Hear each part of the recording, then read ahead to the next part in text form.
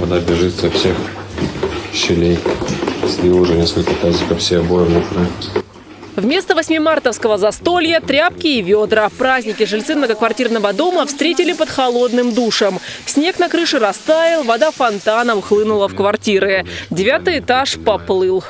На празднике началась. Я выношу мусор, я рано встаю, пол седьмого. Выношу мусор, но э, в коридоре лужа воды. Думаю, черт возьми, собаку кто-то что ли. А потом поднимаю глаза, а там по стене ручей течет. Залило 106-ю квартиру полностью. У парня там потолок подвесной облез. И это обои облезли. У меня, видите, там обои вот облезшие. Вот до сих пор они, вот они, вот. Так и текло.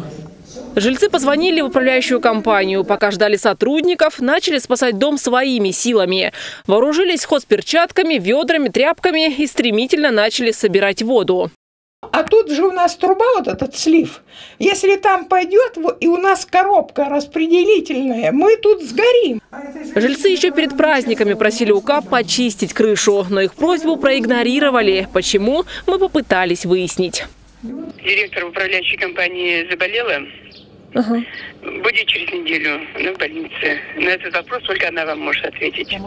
Капремонт кровли по краевой программе запланирован аж на 2029-2031 годы. Но сроки можно сдвинуть, отмечают коммунальные юристы.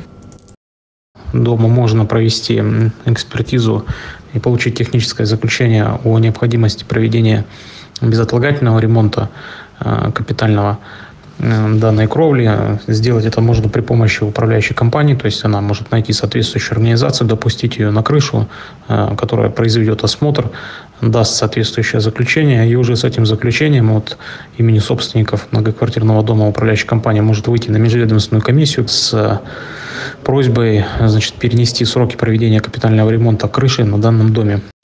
А пока вопрос будет прорабатываться, управляющая компания должна точечно латать дыры на крыше. Но и этого она не делает, возмущаются люди и пока предусмотрительно не убирают ведра и тряпки. Вдруг вновь рванет. Валентина Аскерова, Алексей Фризин. День с толком.